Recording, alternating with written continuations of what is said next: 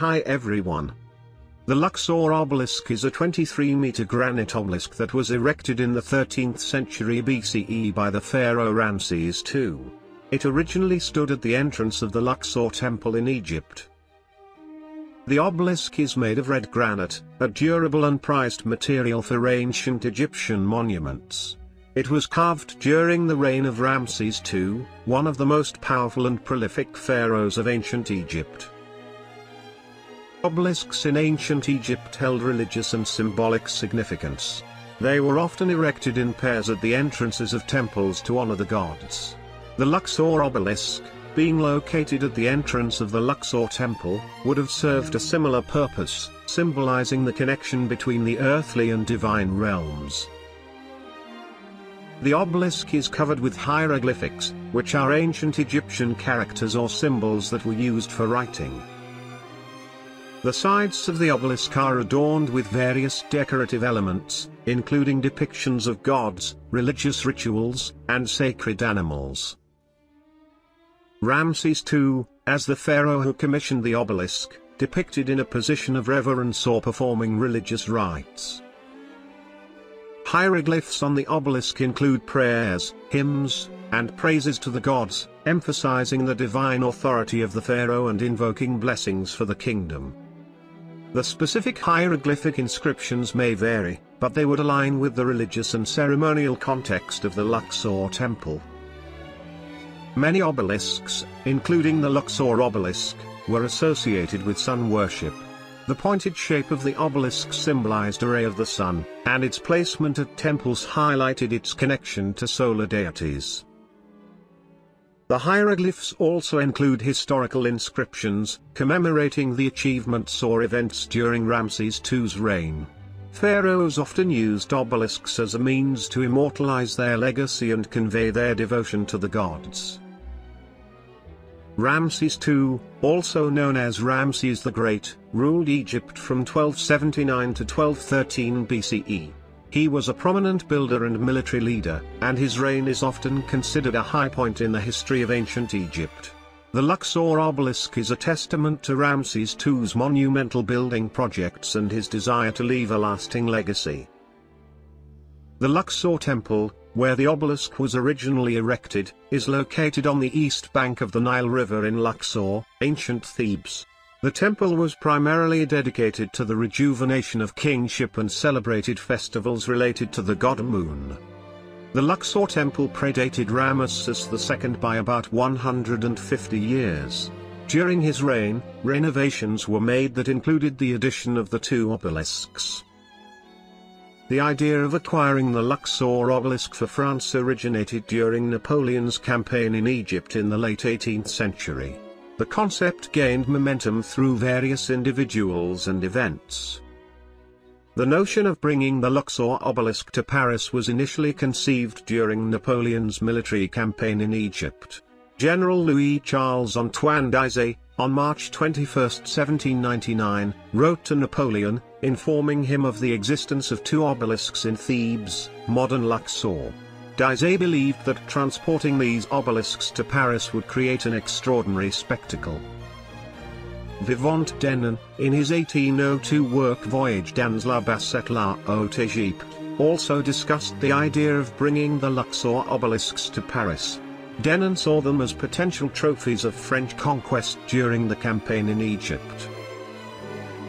On October 8, 1800, Jean-Marie Joseph Coutelle presented the first technical considerations for the transport and erection of one of the Luxor obelisks to the Place de la Concorde before the Institut d'Égypte in Cairo. Despite these plans, the French campaign in Egypt concluded without realizing the transportation of the obelisks to France during Napoleon's rule. Under Louis XVIII, successor to Napoleon, the French sought an obelisk as a piece of Egyptian art. The French acquired rights to Cleopatra's Needle in Alexandria, but this obelisk was eventually sent to New York City in 1881 and did not make its way to France. In the 1820s, King Charles X of France opened an Egyptian museum and expressed a desire to obtain an obelisk as a symbol of Egyptian art. Jean-François Champollion, renowned for deciphering the Rosetta hieroglyphs, saw the Luxor obelisks during this time and strongly advocated for their acquisition over other obelisks. The Luxor obelisk's journey to France as a gift from Muhammad Ali Pasha in the 19th century is a fascinating historical episode. Initially, the Luxor obelisks were gifted to the British by Muhammad Ali Pasha. However, on the suggestion of France's Consul General Mimaut, inspired by the eminent Egyptologist Champollion, Muhammad Ali Pasha decided to reverse this decision. The British were instead given the obelisk of Hatshepsut in Karnak Temple, a more practical choice due to its location within surrounding stone structures. Baron Isidore Justin Séverin Taylor, a French diplomat and senior to Mimaut, played a pivotal role in finalizing the terms of the gift. These diplomatic efforts included negotiations and agreements to facilitate the transport and installation of the Luxor obelisk in France. In November 1830, Muhammad Ali Pasha officially bestowed the Luxor obelisks upon France. In reciprocation for the gift of the Luxor obelisks, France presented the Ottomans with a mechanical clock in the 1840s, known as the Cairo Citadel clock. Unfortunately, the clock has rarely worked since its arrival in Cairo. In 1981, President François Mitterrand of France made a historic decision to definitively renounce possession of the second Luxor obelisk. This gesture aimed to strengthen diplomatic relations and restore the ownership of the obelisk to Egypt. The decision was made to relocate the western obelisk, and in 1831, the dismantling process commenced. Specially designed for transportation, the Luxor ship carried the obelisk, reaching Paris in 1833. King Louis-Philippe oversaw its erection at the center of Place de la Concorde in 1836. The entire endeavor incurred a substantial cost, with an estimated expense of 2.5 million francs, equivalent to approximately 16 million euros. This considerable expense might explain why the relocation of the second obelisk never materialized. Originally designated for an equestrian statue of Louis XVI by Jean-Pierre Cortot, the present-day pedestal still found an unexpected purpose after the statue was destroyed during the July Revolution in 1830. In 1998, France added a gold-leafed pyramid cap to the obelisk's pinnacle, sponsored by Yves Saint Laurent. Speculation about the pyramidion's original covering, possibly bronze, gold, or electrum, dates back to the 500s BC, with the suspicion that it was pilfered. Considering the pedestal and cap, the monument's current height stands at approximately 33.37 meters, equivalent to 109 feet.